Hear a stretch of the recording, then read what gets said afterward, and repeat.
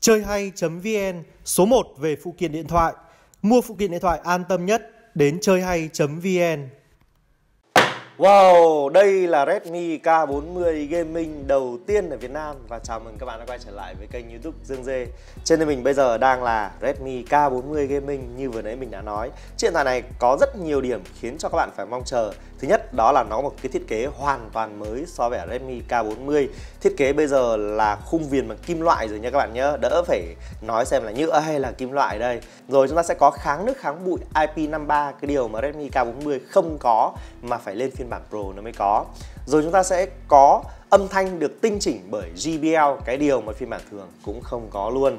Chúng ta sẽ có phím trigger vật lý như thế này đây các bạn nhìn thấy chưa? Giống như là Xiaomi Black Shark 4 Đấy, và à, chúng ta sẽ có một con chip cũng hoàn toàn mới luôn không phải là chip ờ, uh, 870 hay là cái gì cả mà nó là chip Dimensity 1200 Đấy, rồi có những cái tinh chỉnh nhỏ khác nữa, ví dụ như là Bluetooth sẽ là 5.2 chứ không phải là 5.1 rồi là camera là 64 chấm chứ không phải 48 chấm pin sẽ là 5.000 mAh chứ không phải là 4000 rưỡi và một cái sạc nhanh hơn rất nhiều bên trong này, sạc 67W chứ không phải là sạc 33W với tất cả những điều đó, nó khiến cho Redmi K40 Gaming trở thành cái điện thoại được mong chờ nhất trong thời gian gần đây. Đấy và à, ngày trước nếu các bạn không mua được Redmi K40 thì cũng đừng tiếc bởi vì K40 Gaming mới là cái điện thoại mình nghĩ là đáng mua hơn. Các bạn sẽ nhìn luôn này. à, chúng ta sẽ có cái dòng chữ Hi-Res uh, Audio kết hợp với cả sự tinh chỉnh của loa, loa JBL ở đây này. Các bạn nhìn thấy chưa? Game phone luôn này, nhìn rất là rõ luôn này. Cái phiên bản mà mình đang cầm trên tay này là phiên bản RAM 8 bộ nhớ trong 128 Đấy, nó sẽ có những phiên bản khác, nhưng mà thấp nhất thì ra là 6128 nhé. Còn phiên bản của mình là 8128 nữa, tầm tầm kiểu ở giữa. Đấy, dòng chữ K40 ở đây, các bạn nhìn thấy không? Hộp thì hầm hố hơn rất nhiều rồi. Và cái hộp này thì thực sự là nó rất là gaming luôn. Đấy, tông màu thì là màu vàng với màu đen nhé các bạn nhé. Đây, các bạn nhìn này. Đây, nhìn này. Game trò chơi bắt đầu này, Thấy không? Thấy không? Hoành tráng không? Đấy, rồi, chúng ta sẽ có một cái sạc 67W màu vàng luôn nhé ở đây chưa? Và chúng ta sẽ có một sợi cáp chuẩn USB Type C cũng màu vàng luôn. Điểm nhấn nhá, rất rõ ràng ở đây. Đấy, và cái chiếc điện thoại này thì nó cũng có một cái miếng dán màn hình có sẵn ở bên ngoài này rồi. À tôi quên mất tí nữa, quên này. Quên quên quên quên quên. Đây que dọc sim, sách hướng dẫn sử dụng và một cái ốp lưng dẻo nữa. Đấy. À nhưng mà cái ốp lưng dẻo này thì nó lại không không theo kiểu là gaming lắm nhỉ kể mà ốp lưng dẻo này mà nó có những đường cắt ở bên trong này này, giống nhiều cái ốp lưng của Black Shark ấy, thì nhìn nó sẽ hầm hố hơn, mình cảm thấy là hơi đáng tiếc đấy đấy, ốp lưng này thì vẫn là ốp lưng thường thôi nhá. Đấy, nhưng mà cũng có thể là nhà xuất họ hướng tới cái đối tượng khách hàng là muốn một chiếc điện thoại gaming, nhưng mà phải có thiết kế dễ dùng. Đấy, kiểu như là một cái thiết kế mà ai cũng có thể dùng được chứ, kiểu như không, nó nó không không kiểu là quá hầm hố ấy. Đấy, và các bạn sẽ nhìn thấy luôn nhá, với một cái chiếc điện thoại như thế này, ốp lưng như này vào rồi, thì chúng ta có thả rơi thì cũng không sợ bị vỡ các thấy không? Hoành tráng. Đấy đầu tiên ở Việt Nam mà dương dê vẫn thả rơi bình thường nhá. Không có sợ gì hết. Ui dồi của cho mượn mà. Rồi bây giờ mình sẽ bỏ phụ kiện qua bên để nó chi tiết hơn về cái chiếc điện thoại này nhá.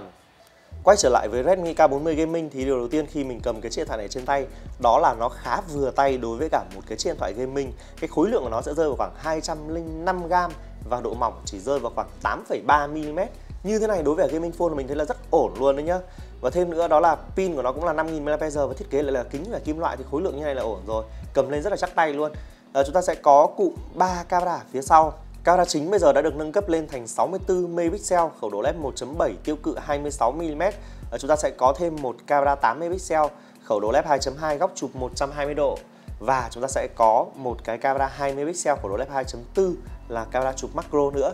Và các bạn có thể nhìn thấy này, là chúng ta sẽ có một cái đèn flash hình tia sét ở đây này, các bạn nhìn thấy không? Rất cách điệu luôn và mình cảm thấy rằng là cái này là cái mà Xiaomi đang làm rất là tỉ mỉ, cái điều mà mình cảm thấy cực kỳ thích. Đấy, chúng ta sẽ có dòng chữ Redmi ở đây và cái dòng chữ fighting ở đây, các bạn thấy không? Mặt lưng thì thiết kế rất là hầm hố nhá đây chúng ta sẽ có những cái đường như thế này. Đấy, tạo ra điểm nhấn này những chỗ này tạo ra điểm nhấn này. Rồi là đèn flash hình tia sét cũng tạo ra điểm nhấn luôn này. Cái cụm camera này cũng thế này. Chỗ này thì nó bằng kim loại này và bên trong này nó kính này các bạn nhìn thấy không? Và cái phần mặt lưng này thì họ bo vào tương đối nhiều nên là khi mà chúng ta, chúng ta cầm vào chúng ta sẽ không cảm thấy hiện tượng bị cấn tay. Rồi tiếp tục nữa nào ở phía các cạnh máy thì sao? Ở phía bên cạnh trái chúng ta sẽ gồm cái phím tăng giảm âm lượng như này. Chúng ta sẽ có thêm mic ở đây nữa nhé các bạn nhé. Đấy họ ghi rõ chữ mic luôn này. Họ cũng làm vát những đường này lõm vào bên trong như này này. Đấy để khi mà chúng ta cầm vào như này đấy cái cái chỗ cái ngón út mà chúng ta cầm như này hoặc như nào đấy thì nó sẽ um, cảm thấy nó thoải mái hơn. Đấy các bạn nhìn đâu gaming phone mà họ thiết kế như này rất là chuẩn luôn.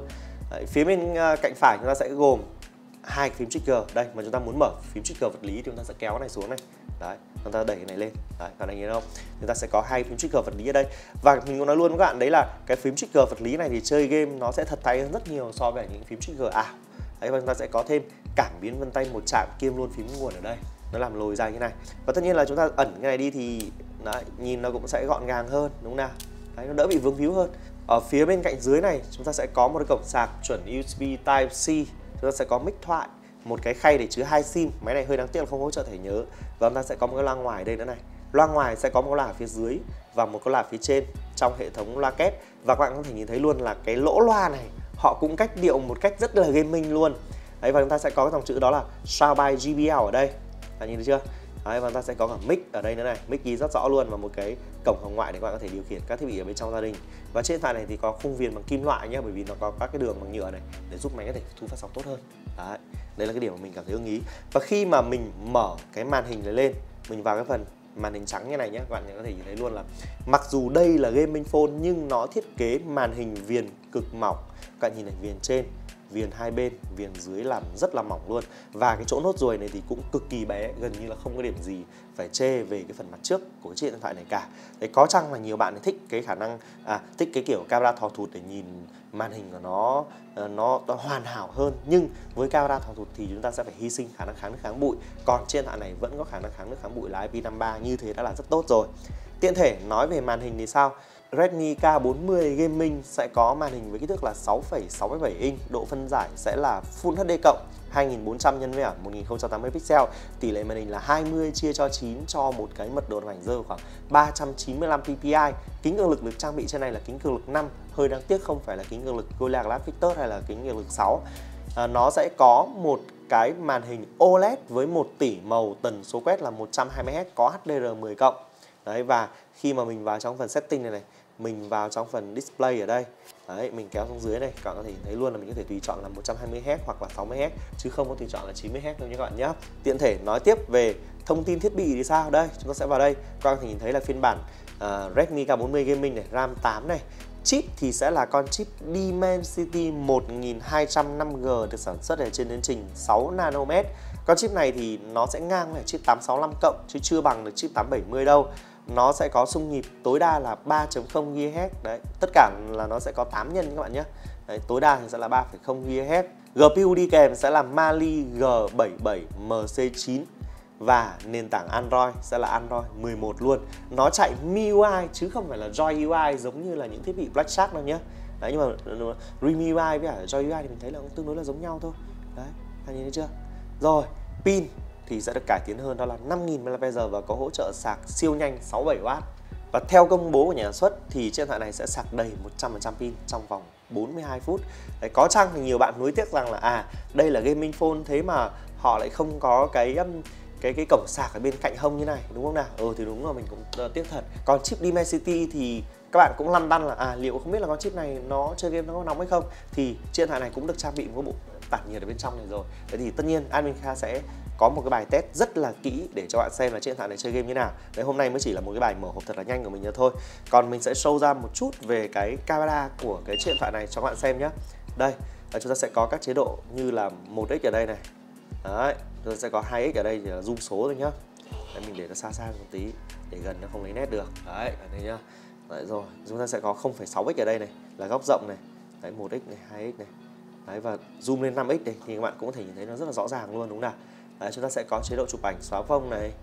Thêm thì chúng ta sẽ có những gì? Chúng ta sẽ có chụp ảnh ban đêm thì nó sẽ tăng tốc độ màn chập lên để bạn chụp ảnh nó tốt hơn. Chúng ta sẽ có camera 64 chấm quay video ngắn này panorama đọc văn bản này.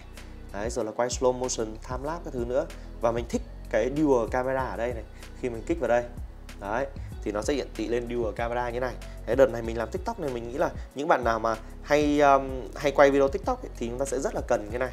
Đấy thi thoảng chúng ta cũng có thể là vui vẻ được đúng nào? Đó. Rồi ok. Đấy là những cái um, về cái camera của cái chiếc điện thoại này.